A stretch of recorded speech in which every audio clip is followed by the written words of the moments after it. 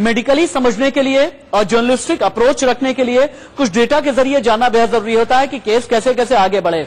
हमने एक पैमाना तैयार किया। हम एक काम करते हैं, हमने ये सोचा कि हज़ार पर क्यों ना एक कैपिंग लगा करके देखें कि महाराष्ट्र का आंकड़ा किस तरीके से बढ़ा है। हमने यही कैपिंग लगाई, हालाँकि महाराष्ट्र में आंकड़े और भी ज़्यादा बढ़ गए हैं, लेकिन हमने हज़ार की कैपिंग लगाई हुई है कि 100 केस कब हुए 500 कब हुए और हज़ार कब हुए। और आप जब देखेंगे तो आपको ये लगेगा कि जब भारत में संक्रमण की शुरुआत हो गई तो 100 केस पहले से और 100 केस पहुँचने में कुल दिन लगे 15 मैं रिपीट करूँगा 15 दिन में महाराष्ट्र में एक से संक्रमण का आंकड़ा 100 पहुँच गया।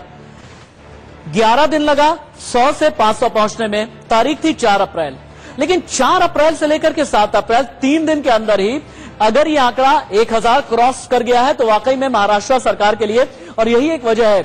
यही कैपिंग वाला आंकड़ा जो है महाराष्ट्र सरकार के पास में है और यही एक वजह है कि महाराष्ट्र सरकार लगातार इस बात पर ज़ोर दे रही है कि क्यों ना तीन अलग अलग जोन में बांटा जाए और जोन के साथ भी इन जोन को सब जोन में डिस्ट्रीब्यूट और डिवाइड कर दिया जाए। यानी रेड येलो और ग्रीन जोन तो होगा ही होगा। अब रेड में भी रेड मुख्य रेड जोन होगा और बफर जोन होगा। इसके बारे में आगे जानकारी हम इकट्ठा करेंगे और आपको देंगे।